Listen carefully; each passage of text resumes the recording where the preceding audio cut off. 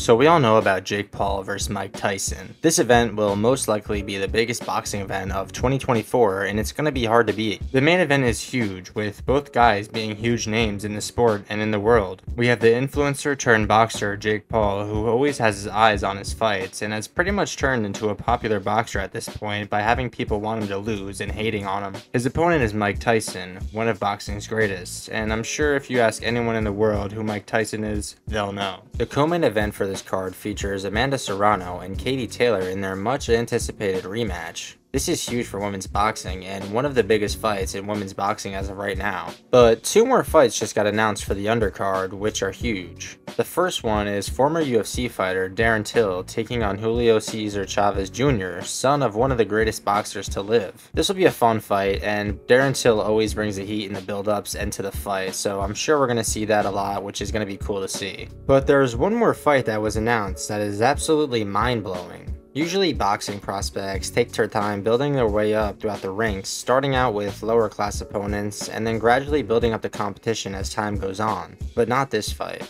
We have Ashton H2O Sylve, who is signed to Jake Paul's promotion, and then Floyd Kid Austin Schofield, who have just announced that they will be fighting each other on the undercard of Jake Paul versus Mike Tyson. This is absolutely insane, as these two are putting everything on the line so early into their careers. Most boxers love to keep that zero off their record and strategically pick opponents to keep that, but these two don't care and are doing what the sport of boxing needs. Ashton Sylve is only 20 years old, sitting with a current pro record of 11 wins, and 9 of those wins coming by way of knockout. Schofield is 21 years old and sits at a record of 17-0 with 12 knockouts on his record. These two have just started their exciting careers and are now in one of the toughest fights in their careers. These guys are studs and have so much ahead of them, yet they choose to fight each other and put it all on the line. The UFC has something where guys pretty much don't have a choice to who they have to fight, and they just fight whoever they're given and can't really deny it. But boxing struggles with this because there's multiple belts, multiple promotions, and many more complications that make it way more difficult for these guys to fight each other.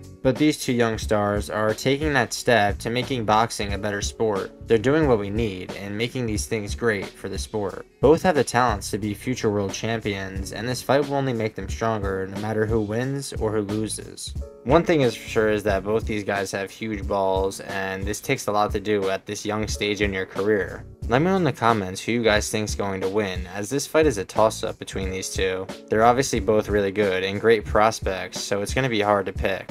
But we'll have to find out on fight night. So make sure you leave a like, comment, subscribe, and I'll see you in the next one. Peace.